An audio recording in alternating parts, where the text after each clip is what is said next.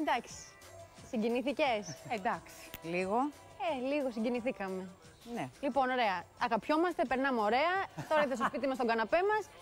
Πάμε να τα πούμε έτσι ωραία. Θα παντρευτείς στον τάντι, τι θα γίνει τέλος πάντων; Όπα, ξεκίνησε κάτι. Δυναμικά. Μπράβο. Τώρα είμαστε οικογενειακά και παίζουμε μπαλίτσα αληθινή.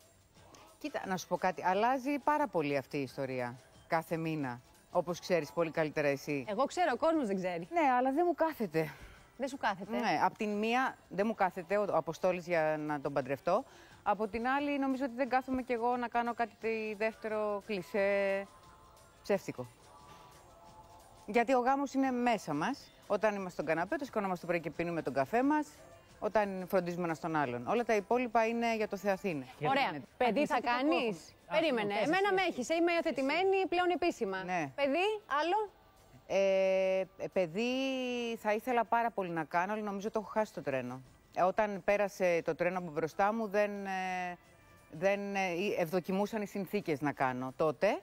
Και τώρα που θα ήθελα πάρα πολύ, γιατί είναι σημαντικό ένα παιδί να το κάνεις και με έναν άνθρωπο που θέλεις πολύ και αγαπάς πολύ και σε στηρίζει πάρα πολύ, που είναι το βασικότερο. Εσύ το ξέρεις πολύ καλά αυτό. Ε, τώρα που θα ήθελα ιδανικά, νομίζω ότι δεν μπορώ. Δεν μπορώ πραγματικά, όχι δεν μπορώ. Ναι, ναι, καταλαβαίνω.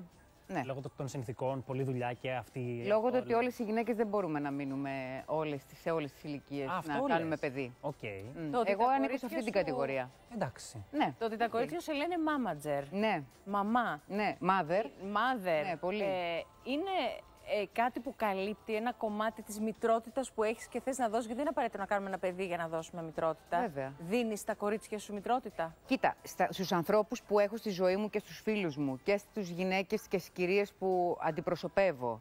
Ε, είμαι, έχω πάντα μία μητρική, ξέρεις, ένα μητρικό προφίλ. Και μεγαλύτερες γυναίκες να είναι, έχω πάντα ένα μητρικό προφίλ. Δεν έχει να κάνει με την ηλικία. Εγώ τους φίλους μου, τους ανθρώπους που αγαπώ, τους αγαπώ μάλλον σαν μαμά. Από Εσύ το έχεις πάντα όμως. εισπράξει αυτό, Έλενα; Ω γυναίκα δηλαδή, είχες εισπράξει πολύ αγάπη από μαμά και την περνάς τώρα σε. Κοίτα, η άλλους μαμά μου είναι ανθρώπους; φίλη μου, είναι κολλητή μου, να ξέρεις. Ε, είναι που μου στέλνει μηνύματα πώ είναι έτσι τα μαλλιά σου, δεν μου αρέσουν τα αφικίλη σου. Είναι αυτή η γυναίκα που δεν επεμβαίνει, δεν παρεμβαίνει με τίποτα στη ζωή μου. Είναι μαζί μου σε όλα. Δεν είναι αυτές οι αυταρχικές μαμάδες. Κάνε αυτό, κάνε εκείνο. Είναι μια γυναίκα που είναι κολλητή μου. Οπότε τόσο πολύ το μαμαδίστικο δεν το έχω ζήσει. Την ακούς τη μαμά σου, δηλαδή, αν σου στείλει σήμερα αυτό που φοράς δεν πολύ αρέσει. Τα μαλλιά σου σήμερα δεν μου αρέσουν. Αν είναι- είναι ζωντανό, θα την ακούσει, θα σε προβληματίσει. Αν την άκουγα τη μαμά μου, θα ήμουν πολύ καλύτερα τώρα. Είμαι πολύ, ήμουνα πολύ επαναστάτρια και είμαι σε σχέση με τη μαμά μου και τον μπαμπά μου. Μου είχαν πολλές φορές πει για κακοτοπιές.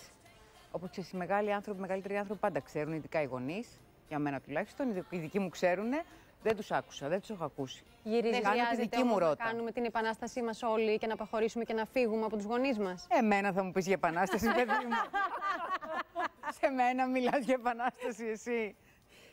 Εννοείται. Άρα σου έκανε και Άρα καλό, ετοιμάσου. Ναι. Γυρίζει, Θα επαναστατήσω. Γυρίζεις πίσω στη μαμά σου όμως να της πεις: Μαμά, σε αυτό είχες δίκιο. Τώρα πέρασαν τα χρόνια. Πάντα, πάντα, πάντα. Είναι ωραίο. Κοίταξε, όταν έχουμε άδικο είναι πολύ ωραίο να λέμε τώρα ή- ε, είχα άδικο. Δηλαδή είναι σπουδαίο. Πόσε κυρίες